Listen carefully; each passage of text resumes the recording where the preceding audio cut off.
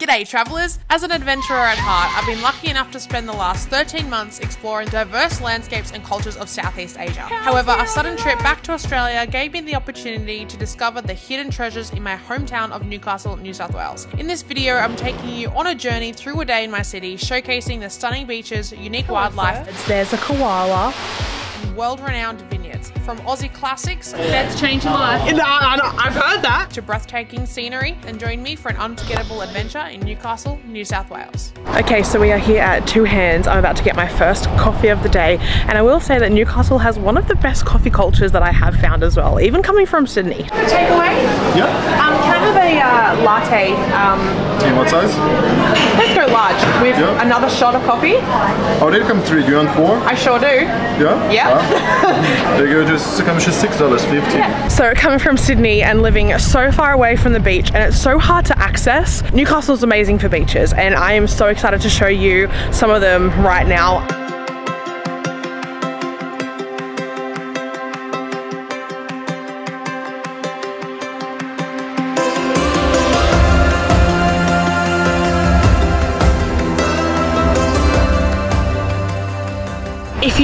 Heard about beaches in Australia, you've probably heard about Bondi Beach, and that's in Sydney.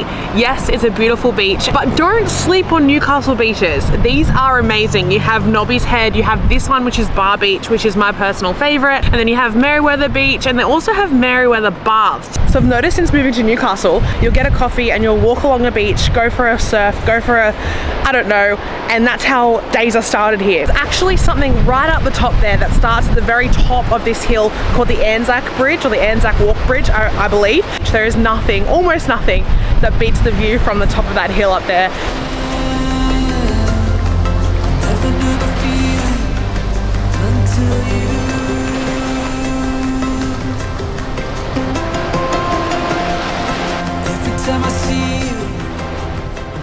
So we are now on the way up to the Hunter Valley and there is just, it's so Australian out here. There's horses, cows, goats, big open land and it's just so Australian. It's a hot day today. I think it's like 40 degrees or something. It's a hot one. It's an Aussie one. We are surrounded by vineyards left, right, center.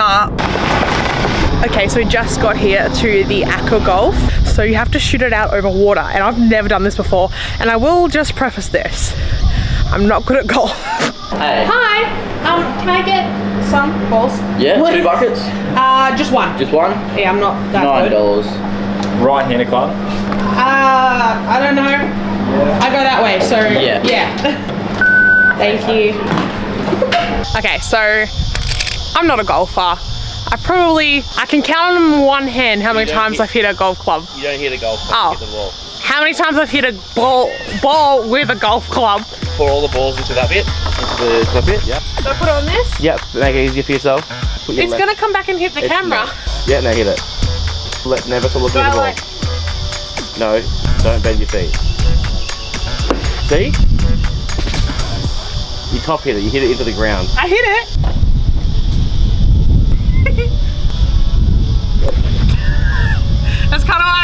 I expected to happen the first time.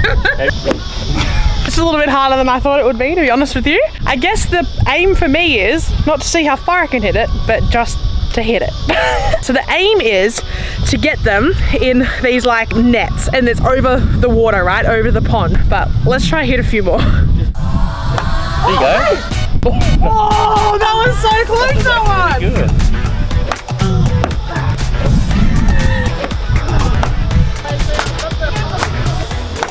Hey, you whacked that. I don't know where that is.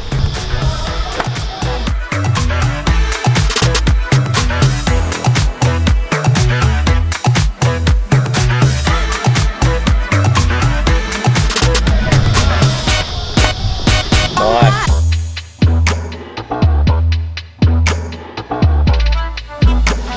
Done. Pretty good. So as we leave the Aqua Golf, there is a um, Hunter Valley Gardens here, and even around in the general area, there's all these cafes. But yeah, now we're gonna head and go to maybe one of the wineries around here to get one of our favorite wines. Um, like we said, they're shipped everywhere, and they're some of the best wines in the world. So let's go find one of them.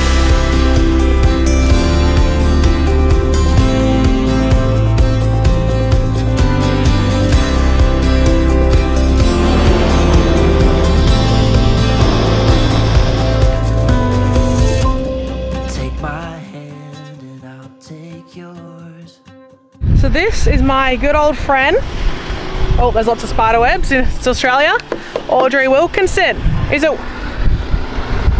is it Wilkinson? So he was actually one of the first people to popularize the Hunter Valley as a place to grow and produce wine. It was kind of still stomped on, like physically, um, by the people making wine um, at the time. So he was the first to sort of bring machinery and like more modern, I mean, for 1866 kind of modern um, ways to make and produce the wine. So this guy started it all up here. All right, let's go taste the wine. How are we? Good, That's good. Have a look around. Yeah. $10 tasting time where you're booked out. Unfortunately not. we are full for today. Yeah, We've been bad? bloody. Yeah. It's been so hectic. yeah. Did you want it cold to drink some now outside, or Yeah, you yes, can, yeah, you can Yeah. take whatever you don't finish home with Yes, you. please. So cold bottle of Moscato, two glasses. Yes, please. Sounds good. Okay, thirty.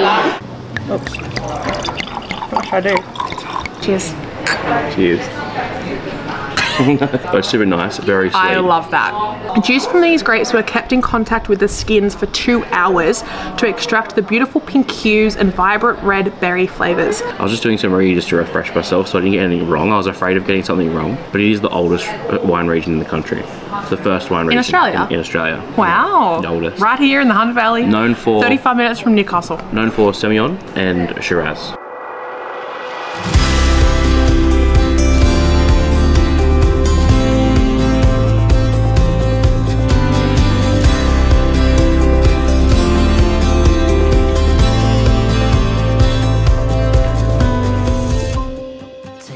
Uh, Michael actually brought me out here and we did a hot air balloon ride at like the crack of dawn two years ago. So well before, a year before I started my channel. The last three Valentine's Day, that one was before you started a channel. And then the next Valentine's Day, we were swimming with elephants. Remember? Yeah, In in Chiang in, in Chiang Mai in One of your Thailand. very first video. One of my very first And I think videos. on this Valentine's Day, we spent it laying on the ground with our dog. with our dog after he just had his After his surgery. surgery, But yeah, we'd come up here for my birthday because it was the pandemic. Yes. I wanted to go to Bali so bad. I wanted to go travel. I wanted to go to Southeast Asia, and we couldn't leave Australia. So Michael found a Balinese villa here, Here in the Hunter Valley. I know it doesn't look like Bali, but he found villa it, did. and the villa did, and that's where Michael uh, took me for my birthday. So, because we have so much native um, flora and fauna, but animals especially, if you're ever driving on like a highway in Australia and you see these nets going over the top of the highway, it's actually so that like koalas mainly and other animals can get Possums across possums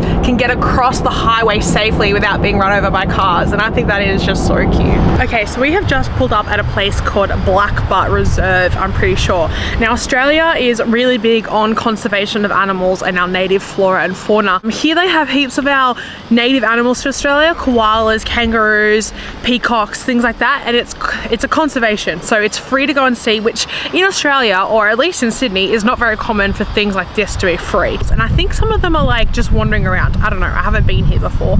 But let's go have a look at some of Australia's wild animals. Um hello sir. How you going up there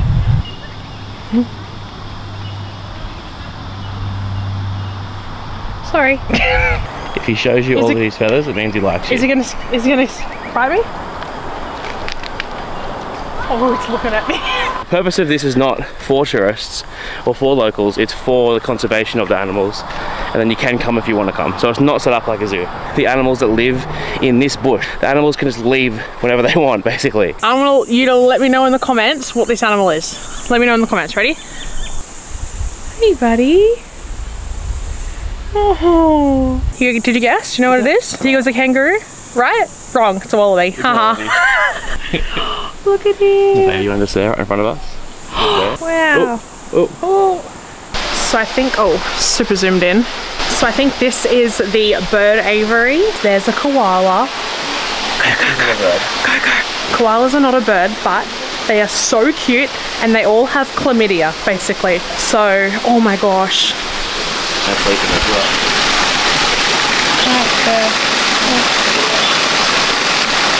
but he's like right in front of us and he's asleep. I'm pretty sure koalas are nocturnal.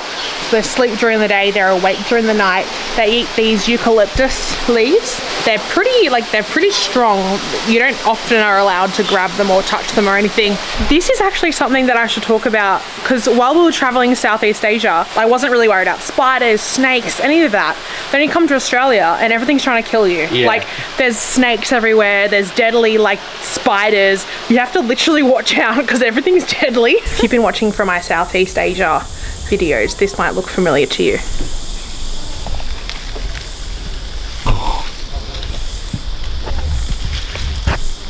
Yeah, there must be different. Austra- it's a different type. it's a different type, isn't it? Mostly only found on the east coast of Australia. They're called a lace monitor. There's some frogs. But that's the wombat in his little. Oh, you can't really see. Oh, you're so cute. They're super dangerous. Why? They're really aggressive animals. So up here we should have our emus and our kangaroos, which are like, and koalas are kind of a national animal, but emus and, and kangaroos definitely are. They're on our passport, they're on our money, they're on our Coat of arms. coat of arms. Emu and a kangaroo on the coat of arms because both animals can't go backwards. They can only go forwards. Kangaroos are a little bit too far away. They're sort of all the way over there, so I can't really exactly see them. So kangaroos are actually pretty like feisty and dangerous, but the red kangaroo ones are massive and like they will punch you. So there's a place near our plate, our house, um, near a lake, and it's absolutely beautiful there. We normally walk happy there or walk there on our own. And there's a, uh, I want to say Australian, but it's more of a Newcastle iconic classic thing to eat, but it's about to close. And yeah, we need to get there as soon as possible. And we're going to show you what it's like. Apparently, it's like big here. It's a big deal. Everyone in Newcastle will have eaten at somewhere along this family tree of schnitzels. I'll go. I'll go. Okay. All right, we're here at the famous place in Newcastle. Hey. Hey. Hi. Is there a, a wrap with egg and bacon, or is that the? I'm getting that This confused. works. It's got all the salad with bacon and eggs, lettuce, tomato, beetroot, cucumber, carrot, cheese, and onion. Let's do that one. Bacon and eggs. That one. I like that one. Oh, is it tomato? I've never done this front. before. I'm from Sydney, sorry. So thank you. That's changed your life. No, I I've heard that. All right, I'll do. I think he would like tomato. Tomato sauce. Yes, please. I might do the Aussie for myself. Yes, please. And what sauce would you like on yours? I would like on mine barbecue. I was gonna say ranch, but I'll go with barbecue. 34. Thank you. Oh, Don't want to go bang on the door. Thank you. Have a good day. Thank you.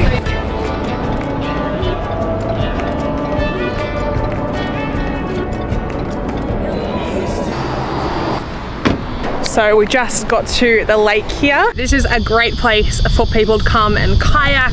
I saw some, there's boats out there, jet skis, people walking around there like sailboats over that way. It's an awesome place to come and sit at the end of the day, sometimes with something to eat. This is massive. Yeah. That'd be cool. I wanna go out on a boat. Do you have a boat? Yeah. Do you wanna go fishing? I don't know if I like fishing, but apparently this is very popular The in original and the best. How, how do I even open it? Looks good. I don't know if you can see. It's got like schnitzel, you've got cheese, you've got bacon, you've got tomato, it's got a big wrap around it. There's no street food really here in Australia. It's just restaurant and takeaway kind of food normally.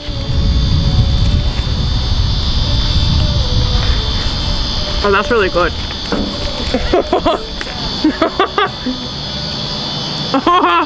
Yeah, I know, right? Wow. They're so good.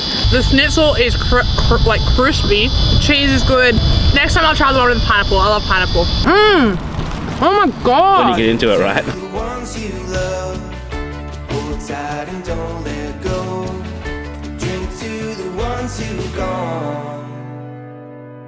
Then let's So while we are super, super lucky to be able to call this home, let me know what you think about Australia in the comments down below and I will see you in the next one. Make sure you leave anything or any questions in the comment section down below and if you haven't or if you don't know why we're here in Australia, watch this one on the screen. It's going to tell you and catch you right up to date as to why we are back here. I'll see you in the next one. Bye.